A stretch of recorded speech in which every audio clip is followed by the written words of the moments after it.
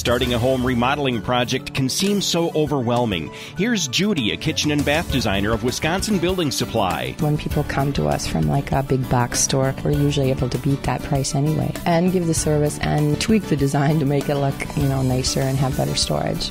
Styles change every year. We always go to market once a year just to find out the new cabinets and the new trends, the new colors, appliances that are coming out, practically cook dinner for you.